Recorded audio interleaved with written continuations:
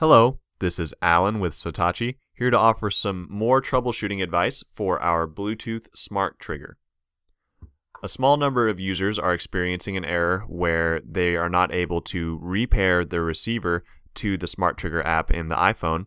Uh, this is usually caused by the Bluetooth signal dropping or uh, more rarely just by exiting the app uh, to your home screen. So this error is completely unintentional. We have an update for the app in the works that will release at the end of March or early April that uh, should alleviate this and any other errors that users are experiencing. In this video, I will show you how to reproduce the error and also uh, a workaround that will enable you to use the app to its full capacity, uh, but it just shows how to mitigate the effect that this error has. So First, uh, this is a smart trigger receiver that's fresh out of the box. So uh, first I will pair the smart trigger to the phone, then I will reproduce the error, then I'll show you the workaround. So first, let's get the smart trigger paired. Uh, in this, let's open the smart trigger app here. It will ask us to turn Bluetooth on. So we'll go to the settings and turn Bluetooth on.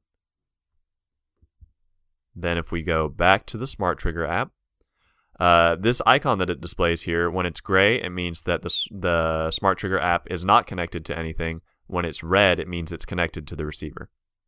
So let's touch scan, and then this is the Bluetooth scan menu. And uh, to start scanning, we'll touch the button in the lower left here.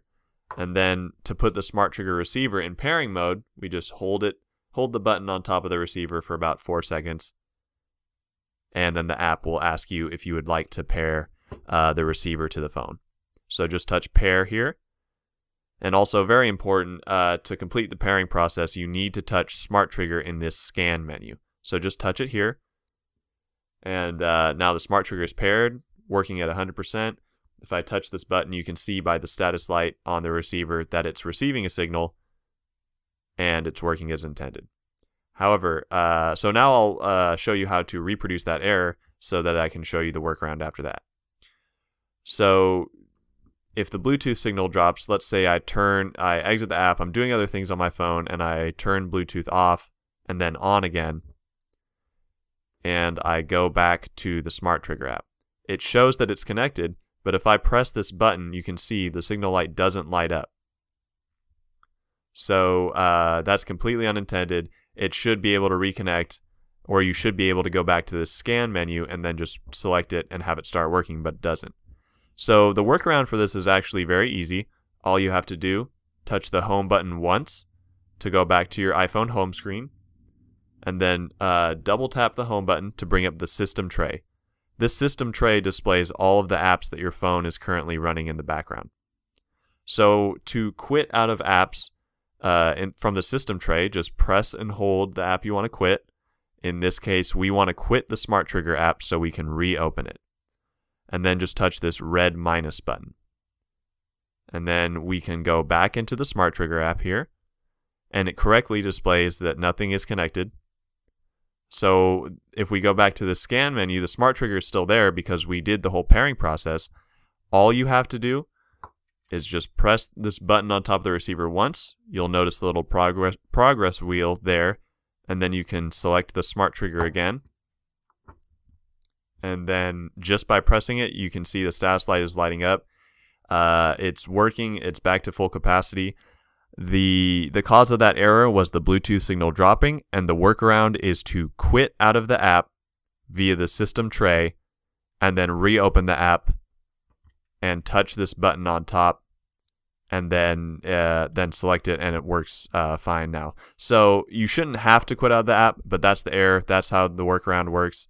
Uh, the uh, update for this app is coming out uh, towards the end of the month and will alleviate this and any other issues that users are experiencing. So uh, I'll do the workaround process one more time uh, just so you can see how uh, how simple the workaround is. So to reproduce the error, let's again turn Bluetooth off and on.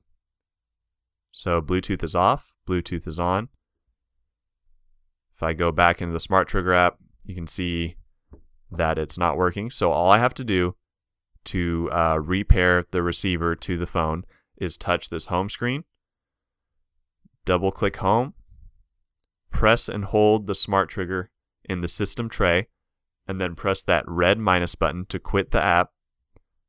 Reopen the app, go to the scan menu, and then touch the button on top.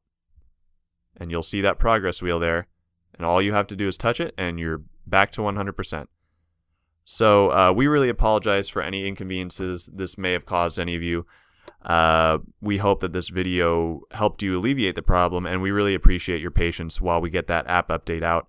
Uh, if you have any further questions uh, about the Smart Trigger or any other Satechi products, you can contact us at support at satechi.com or visit our website at www.satechi.net or contact us on Facebook at facebook.com slash Satechi. Thanks for watching.